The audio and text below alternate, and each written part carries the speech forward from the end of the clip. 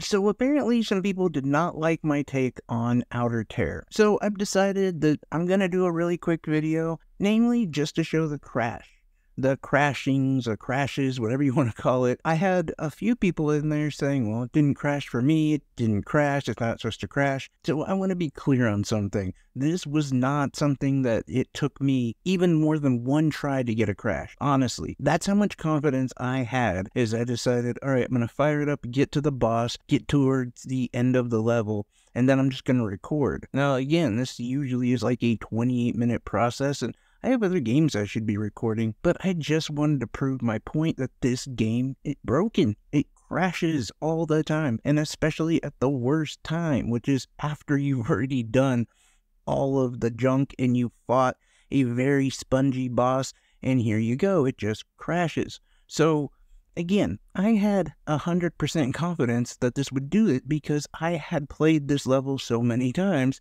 and had this happen so many times.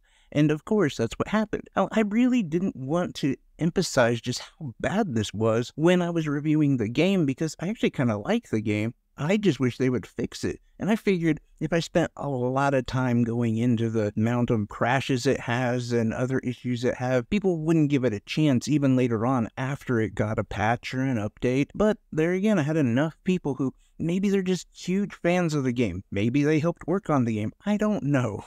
But enough who really question my integrity and even insinuate that I would lie. What would be my point, by the way? What would be the purpose of lying about a game crashing or having problems? It just doesn't make sense. The other thing that they did was they blamed the Switch. And that's fine, you can do that. Although, let's be fair, the Switch is outdated. I will agree with that 100%. And anyone who thinks that I'm just like a Nintendo fanboy or a Switch super fan, no, I know it has limitations and it has problems. But let me ask you a question. Do you think Outer Terror is a better looking, better performing game than, I don't know, Prince of Persia? No, Unicorn Overlord? Probably not, no? Right? Well, how come it can run those games? So are you arguing that you think Outer Terror is so much more taxing than Prince of Persia? Mario Wonder? Come on, that's that's a weak argument. The real answer is it wasn't ported correctly, and it does need some sort of balancing update. Needs patch. I don't know how this stuff works. That's not what I do. What I am saying is there's definitely an issue with this version, and I'm not gonna lie to people, especially my audience, the people who actually give me their time. I'm not gonna lie to them to cover for a game, to spend their hard-earned money on a game that's broken. We do have an unspoken agreement. If I'm wrong about something, I admit it. And they call me out whenever I am wrong. But I also am honest with them. And that's what I'm saying. When I'm wrong, I'll admit it. But in this case, I'm not. And I really do care about their money and what they spend their money on. One of the things that I worry about more than anything is somebody saying, Hey, I spent my money on this game that you said was good and it sucked. That really is like my top tier concern when I put out a video. Not how many views I get, not the monetization or if I'm making money off it. No, it's that.